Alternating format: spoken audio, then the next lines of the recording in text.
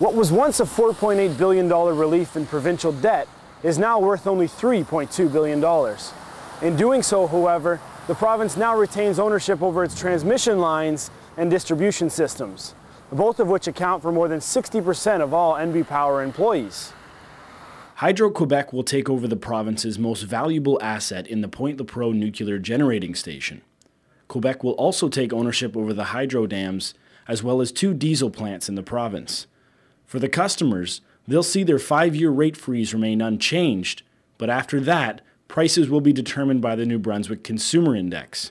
The province will keep control of the Coleson Cove and Belledune generating stations, and industrial ratepayers will only see 23% savings instead of the 30% which was set out in the original deal. Small businesses will see about a 15% savings in their power rates. The Political Science Department at St. Thomas University hosted an open forum on Tuesday evening with three of the region's top energy experts.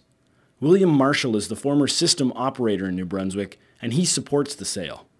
But fundamentally, the deal is a rate promise to New Brunswickers to give you electricity at a reasonable price at a lower cost than what it would be if we continued on the same track we're on with NB Power,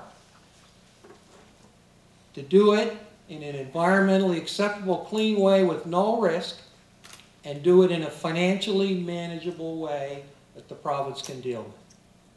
Yves Gagnon is a professor at the University de Moncton and is the K.C. Irving Chair in Sustainable Development. He opposes the deal for New Brunswick, in particular, the clauses in the deal which negate Hydro Quebec from paying income tax on the transaction.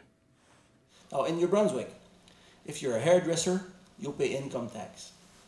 If you own a corner store, you'll pay income tax.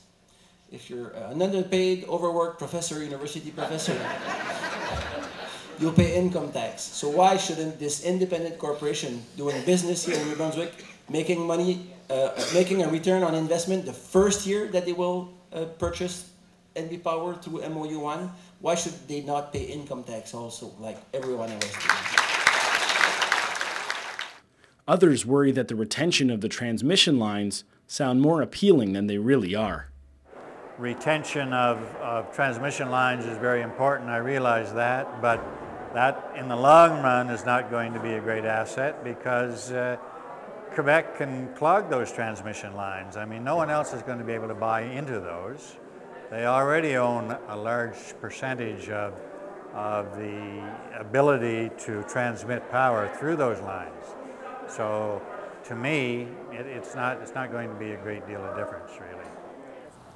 Shawn Graham received the nod of approval from Newfoundland's Danny Williams and Darrell Dexter of Nova Scotia. Initially, concerns were raised over who was in charge of the transmission lines and the bidding processes surrounding it. But after seeing the second part of the deal, both premiers said that their concerns were met. Shawn Graham expects the deal to be finalized by March 31st. For STU Journalism, I'm Jason Cassidy.